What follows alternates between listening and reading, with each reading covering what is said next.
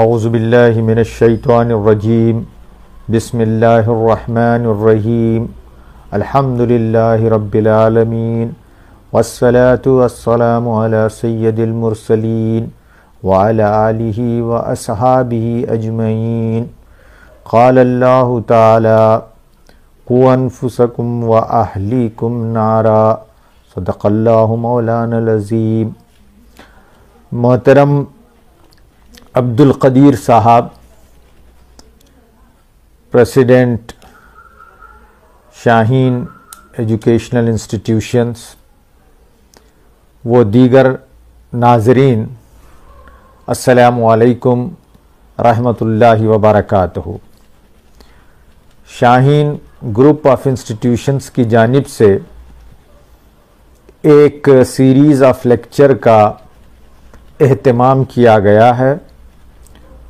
और ये सीरीज़ हमारे आपके मिलत इस्लामिया के लिए और मुल्क के आम बाशिंदगान के लिए बड़ी मुफीद सीरीज़ है। इसमें बातचीत, इसमें गुफ्तगु इस बात पर हो रही है कि हम अपना खोया हुआ मुकाम कैसे हासिल करें। हम तरक्की के मनाजिल कैसे तय करें? हम दुनिया में उरूज हासिल कैसे करें? नाजरीन, किसी भी कौम और किसी भी समाज को उरूज हासिल करने के लिए जहाँ मुख्तलिफ़ प्रोग्रामों पर और मुख्तलिफ़ अनासर पर और मुख्तलिफ़ सल्यूशंस पर काम करने की ज़रूरत होती है, मुख्तलिफ़ स्ट्रेटजीज़ बनाने होते हैं, वहीं एक इंपॉर्टेंट जो काम है, वो ये कि आप अपनी अगली नस्ल को कैसे तैयार करेंगे। अगली नस्ल, यानी आप अपने बच्चों की तरबियत कैसे करेंगे। एक मशहूर अमेरिकन कोच है, ट्रेनर है, जिसका नाम सिमन सिनक है। इसकी कई किताबें बेस्ट सेलर बुक रही हैं।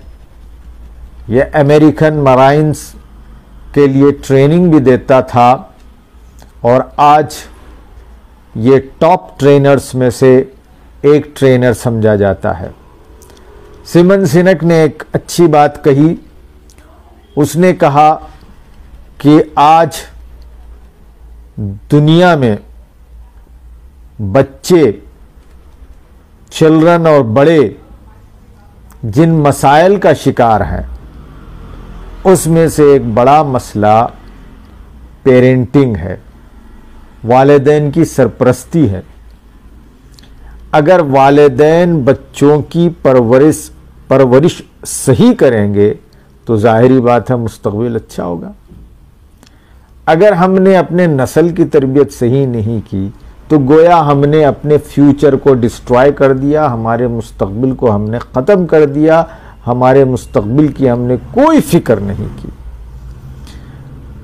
तो अगर हम अपना मुस्तबिल बेहतरीन बनाना चाहते हैं, हम देखना चाहते हैं कि 20 और 25 साल के बाद मिल्लत इन इन महाजों पर आगे बढ़े और उसका मुस्तबिल रोशन हो, वो दुनिया को कुछ दे तो फिर हमको अपने बच्चों पर काम करने की ज़रूरत है। बच्चों पर काम कैसे किया जाए, इसका पूरा आजकल बड़ा निज़ाम है। आजकल ये साइकोलॉजी का एक अहम सब्जेक्ट बन गया है, जिसका नाम पेरेंटिंग है। पेरेंटिंग को दुनिया भर में बड़ी अहमियत दी जा रही है। अभी हमारी नई तालीमी पॉलिसी जो बनी है, उस नई तालीमी पॉलिसी में भी पेरेंटिंग का ज़िक्र है। उस नई तालीमी पॉलिसी में भी पेरेंट्स के हकूक़ का और उनकी जिम्मेदारियों का ज़िक्र है। तो डियर पेरेंट्स, जिनके घर में बच्चे हैं वो भी इन बातों को सुने और गौर करें और जिनके पास बच्चे नहीं हैं, वो भी इन बातों को गौर से सुनो, सुने और उन तक इन बातों को पहुंचाएँ जिनके पास बच्चे हैं या होने वाले हैं।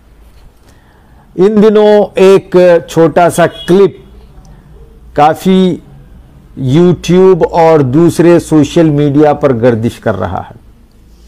बड़ा दिलचस्प वीडियो क्लिप है।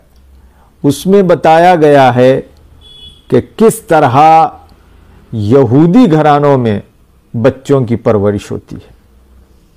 दरअसल, ये वीडियो क्लिप एक सवाल के जवाब में है और वो सवाल ये है कि आज दुनिया भर में जितने नोबल प्राइज लेने वाले साइंसदान पैदा होते, वो साइंसदान हमेशा यहूदी घराने से क्यों आते हैं?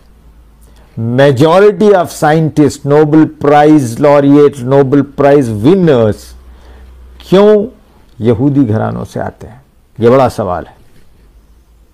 और फिर इसी तरह क्यों वो बड़े कारपोरेट हाउसेस के सीईओ और चेयरमैन बैंकों के चेयरमैन और बड़े बिज़नेस हाउसेस के चेयरमैन वो यहूदी हैं। आखिर क्या खास बात है? खास बात यह है, सरप्रस्ती पेरेंटिंग वालदेन की अपनी ज़िम्मेदारी। आज हमारे पास एक अजीब माहौल है। पेरेंट्स बच्चों की तरबियत का जिम्मा लेना नहीं चाहते। वो चाहते हैं कि बड़े बड़े स्कूल भेज दें। ऐसे स्कूलों में भेजें जहाँ फीसें बहुत बड़ी हैं। प्राउडली कहते हैं कि मेरा बच्चा फला कॉन्वेंट में जा रहा है या फला इंटरनेशनल स्कूल में जा रहा है। और हम पेरेंट्स अपनी सारी तरबियत की ज़िम्मेदारी पेरेंटिंग की ज़िम्मेदारी स्कूल्स पर शिफ्ट कर देते हैं। कहते हैं कि सारा स्कूल करे अब। अब तो हालत यह है कि बच्चा पैदा होने के बाद जब थोड़ा सा वो, यानी अपने तौर पर फ़ूड वगैरह खाना शुरू कर देता है तो उसको डे केयर में भेज दिया जाता है। यानी माँ बाप के हाथों से निकल गया वो। वो तो आया कि मरहून मिन्नत हो गया। तो ये एक एटीट्यूड है। हम बच्चों को सिर्फ़ बायोलॉजिकली ग्रो या बायोलॉजिकली नर्चर नहीं करना है, बल्कि एक बड़े मकसद के साथ करना है। याद रखिए, पहली चीज़ वेरी इंपॉर्टेंट वो ये कि हम बच्चों के ताल्लुक से एक चीज़ का करेक्शन कर लें। और वो बहुत ही इंपॉर्टेंट चीज़ है, ये कि हमारे घर बच्चा पैदा होता है, जब बच्चा बोलने लगता है तो हम उसको एक चीज़, एक सवाल का जवाब सिखाते हैं। वो सवाल ये होता है कि बेटे बड़े होकर क्या बनोगे? और अक्सर पेरेंट अपने बच्चों से जवाब सुनना चाहते हैं डॉक्टर उसके बाद सुनना चाहते हैं इंजीनियर या वगैरह वगैरह।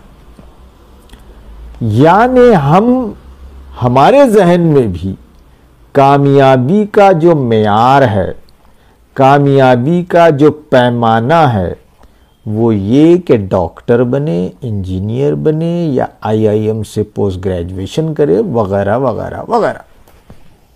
और यही कॉन्सेप्ट कामयाबी का हम बच्चे को दो साल की उम्र से फीट कर रहे हैं।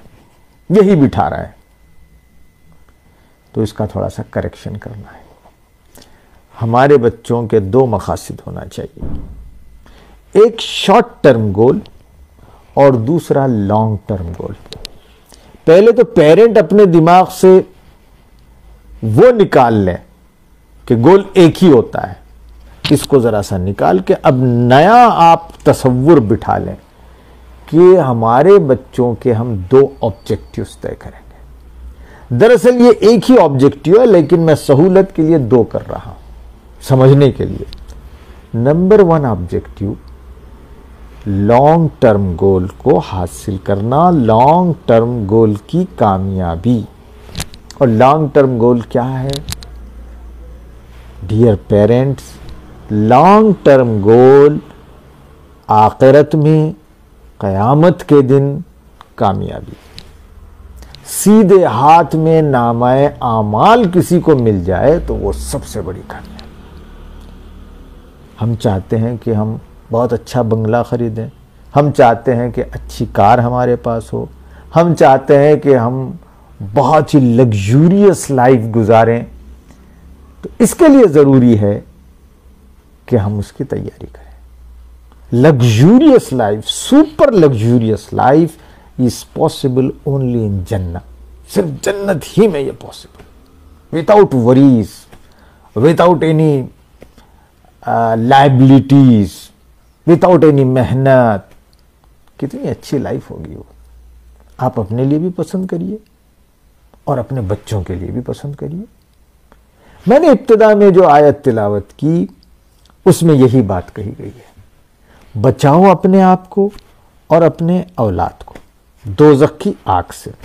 और दोजक की आग से बना, बचाकर किसमें डालना है? जन्नत में डालना। तो ये बच्चों के दिमाग में आप बिठा देंगे कि मुझे इन द रियल सेंस जो कामयाबी हासिल करना है, वो जन्नत का हुसूल है तो वो यकीन इस दुनिया में तब्दीली लाएगा। जन्नत का हसूल सिर्फ़ तस्बी फेरने से नहीं होगा।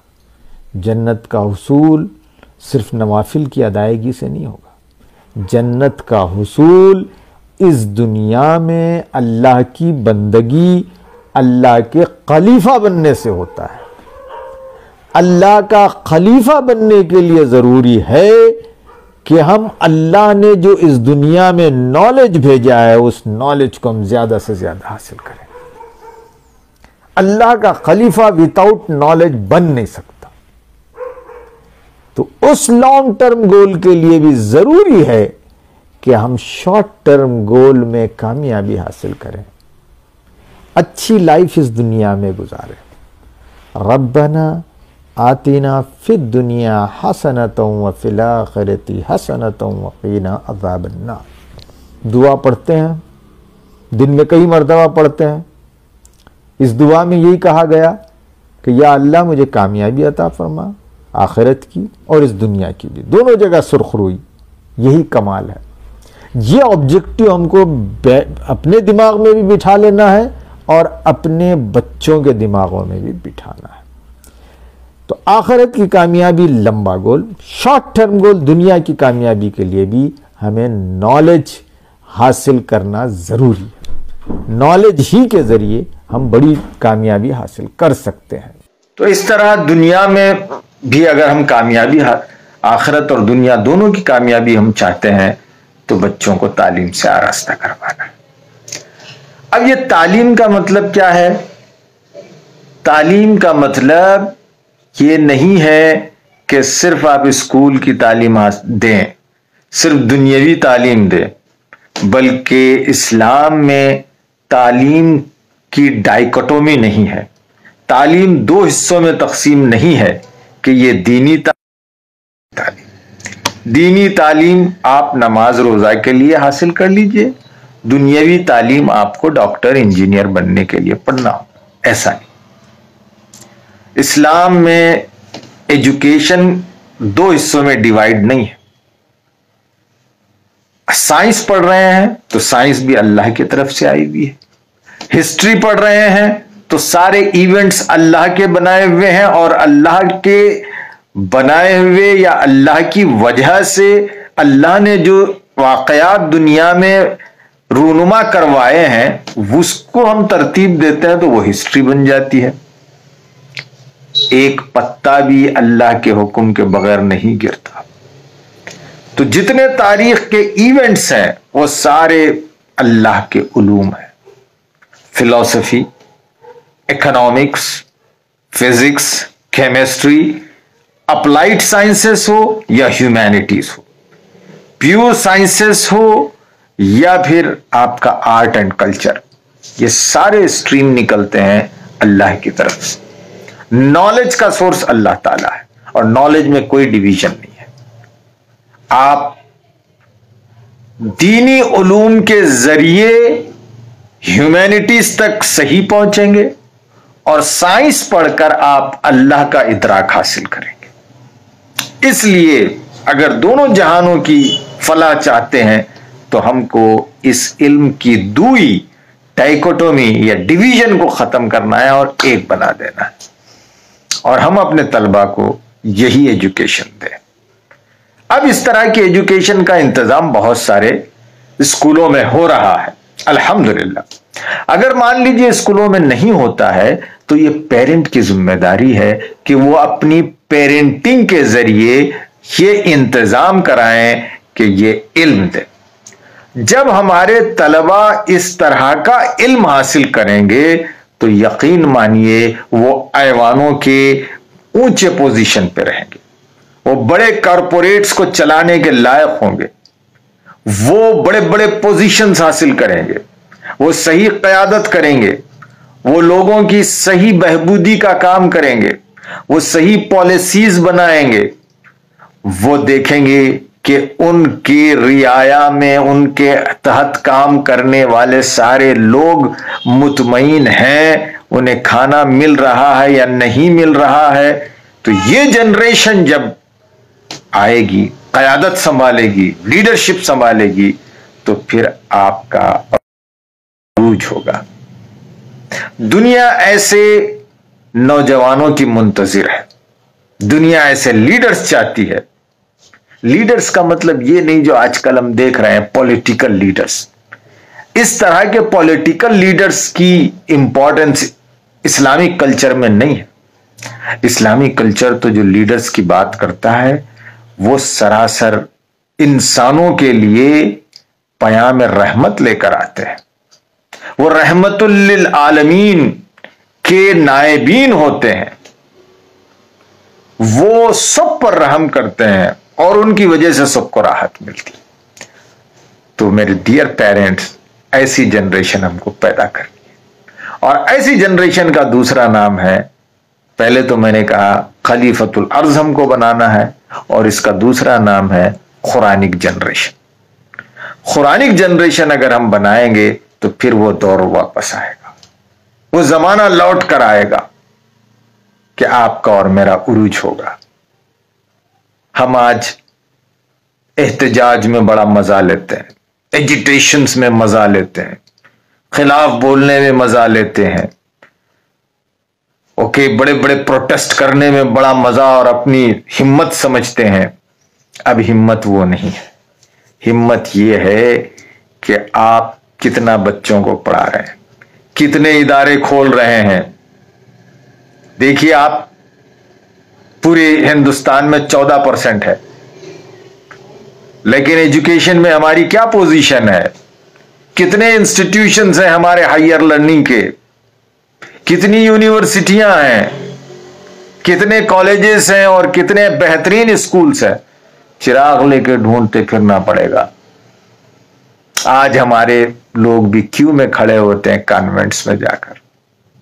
सलाम करते हैं, पेशानियाँ माथा टेकते हैं कि साहब मेरे बच्चे को एडमिशन मिल जाए। आप और हम क्यों नहीं बना सकते? बिल्कुल इदारे बनाइए, इदारे कायम करिए और बच्चों को अच्छी तालीम देने के लिए अज़म कीजिए। मैंने बात शुरू की थी यहूदी घरानों से।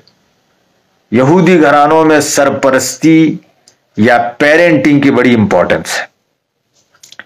माँ जब अपने बच्चे को पेट में कंस्यू करती है, वो हामिला होती है तो तब ही से उसको फ़िक्र होती है कि अपने बच्चे की परवरिश कैसी की जाए। उसको कितना हेल्दी रखा जाए। फिजिकली हेल्दी रखा जाए और मेंटली हेल्दी रखा जाए। एक वाक़ आता है कि एक यहूदी के घर, उसका दोस्त चला गया और हजब मामूल घर में जब पहले जाया करता था तो शायद सिगरेट पिया करता था।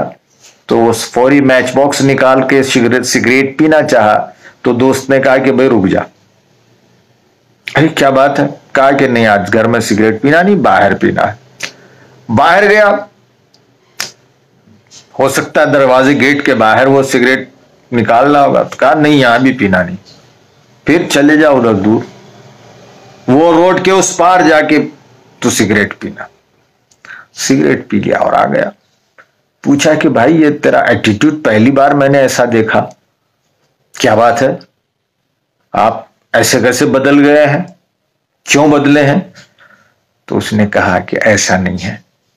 मैंने बदला नहीं है, बल्कि मेरे घर एक मेहमान आने वाला है। मेरी वाइफ बच्चा डिलीवर करने वाली है। इसके लिए मैं ये सारी एहतियात कर रहा हूँ। देखिए, एहतियात इस बात की कि वो जो स्मोक है, वो स्मोक कहीं बच्चे की माँ के, माँ ना ले और माँ के सांस के ज़रिए वो पेट में जाए और बच्चे को मुतासर करे। इतना ध्यान रखा जाता है। और फिर माँ जब तीन चार महीने की हामिला होती है थ्री फोर मंथ का बच्चा होता है तो कहा गया कि उसको मैथमेटिकल प्रॉब्लम दिए जाता है सम्स दिए जाते हैं। घर में माँ उसको सॉल्व करे। इसलिए कि माँ जब वो सॉल्व करेगी, वो जहनी वर्जिश करेगी, जहनी काम करेगी तो उसका इंपैक्ट उसके बच्चे पर पड़ेगा जो उसके पेट में है। इस तरह से यहूदी माए अपने पेट में साइंटिस्ट पैदा करती है। और जब बच्चा पेट में होता है तो माँ को किसी किस्म का टेंशन नहीं दिया जाता।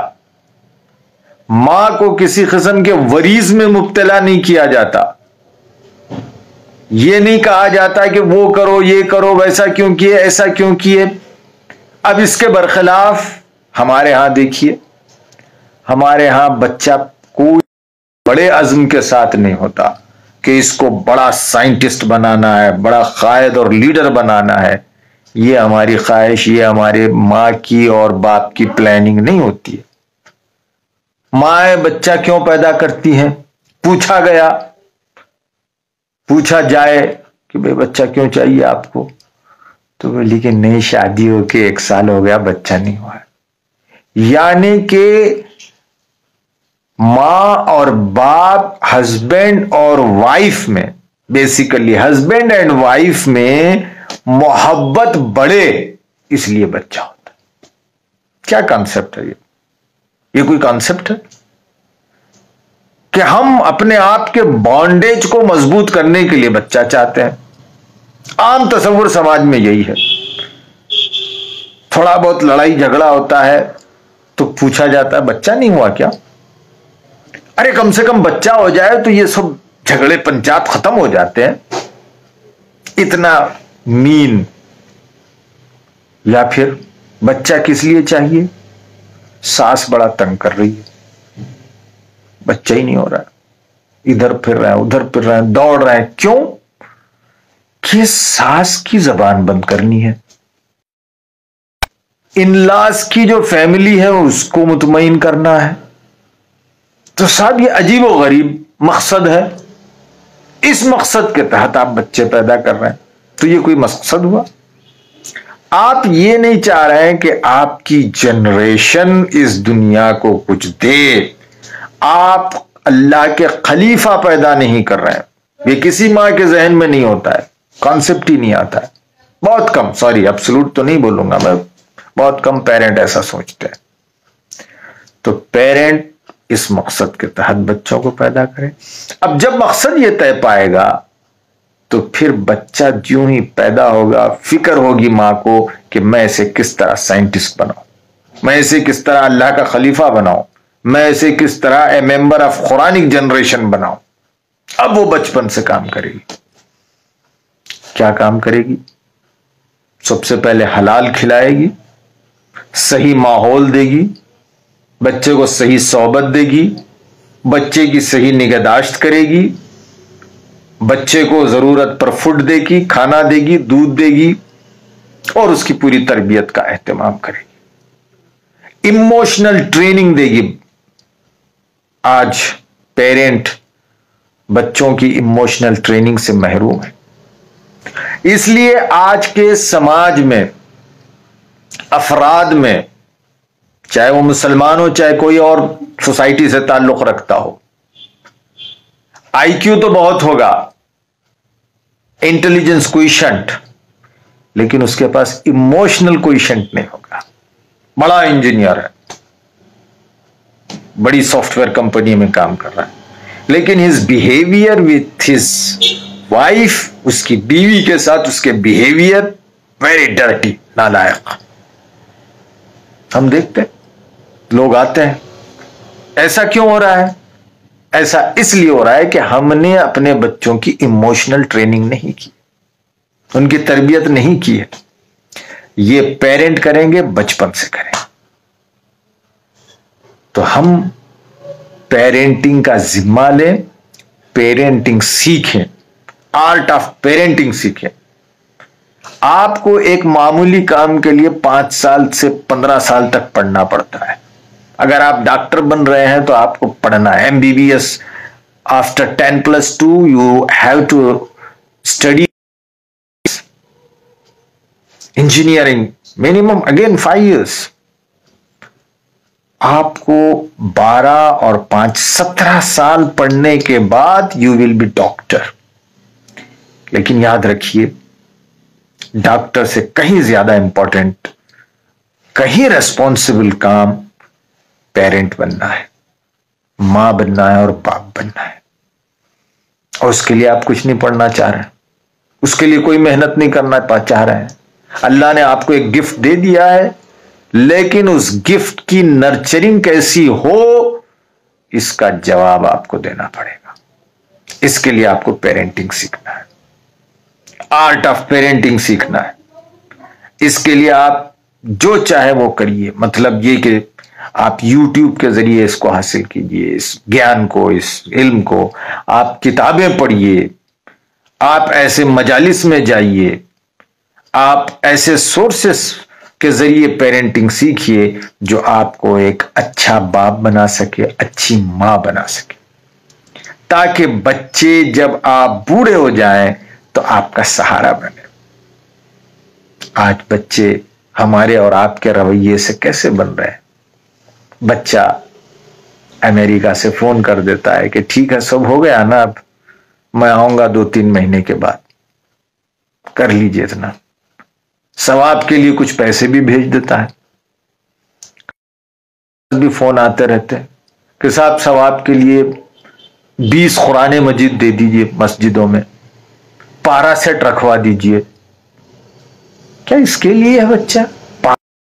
मजिद बच्चे तो बुढ़ापे का सहारा होते। आप अपना सहारा भी उनको नहीं बना रहे आप अपनी तो सोचिए कम से कम। आप अपने बच्चे को किसके लिए? दुनिया के लिए। विप्रो को वो प्रॉफिट करके दे। करके दे टाटा को। वो प्रॉफिट करके दे हेलवर्ट पैकेट को। वो दो वो प्रॉफिट करके दे आईसीआईसीआई बैंक एचडीएफसी बैंक को। वो प्रॉफिट करके दे अमेजॉन को। और आपको क्या दे? चंद टुकड़े। कुछ पैसे भेज दिया, मस्त। एक घर दे दिया, बहुत खुश। डियर पेरेंट्स आप इस पर गौर करिए। और अगर हम और आप सही पेरेंट बनेंगे तो 20 साल के बाद उम्मत मुस्लिमा की हम तकदीर बदल सकते हैं। अगर हम सही पेरेंट बनेंगे तो हमारे मुल्क की हम तस्वीर बदल कर सकते हैं। अगर हम सही पेरेंट बनते हैं तो हम इस दुनिया में वो काम करेंगे, जिस काम के लिए हम आए अगर हम सही काम करेंगे, बच्चे, हमारे बच्चे, हम सब मिलकर जन्नत में जाएँगे। वहाँ की आसाइशों से फ़ायदा उठाएँगे। वरना पता नहीं हालात इतने खराब हैं कि हमारे बच्चों का मुस्तबिल क्या होगा। हम तो चले जाएँगे, लेकिन आप बच्चों के लिए क्या छोड़ रहे हैं? बेहतरीन इल्म सवाब जारिया है। सिर्फ़ के सवाब जारिया नहीं है, वो भी सवाब जारिया है, लेकिन वो इल्म जो इंसान को खलीफा बनाता है, जो इंसान को कुरानिक जनरेशन बनाता है, वो इल्म की ज़्यादा अहमियत है। वो इल्म, बहसियत पेरेंट मुझे और आपको देना है। इस पर गौर करें और कुछ एक्शन प्लान बनाएँ। हमारा भी ताउन हासिल कर सकते हैं।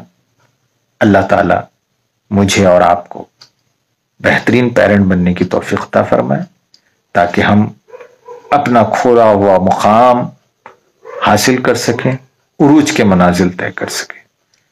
शाहीन ग्रुप ऑफ़ इंस्टीट्यूशन के इस प्रोग्राम से अल्लाह ताला मुल्क में एक तब्दीली लाए, मिल्लत में एक तब्दीली लाए और उरूज के दिन बहुत करीब ले आए।